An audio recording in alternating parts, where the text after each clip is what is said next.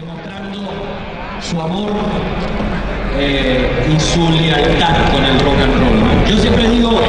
yo espero que se me caiga el pelo por pero jamás me voy a cortar la greña, compadre. Bueno, este, esto es bonito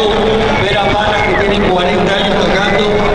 y vienen nuevamente a esta tarima a compartir con todos los jóvenes para darse Y algo muy importante, esta es la primera de las bandas que vamos a ver repetir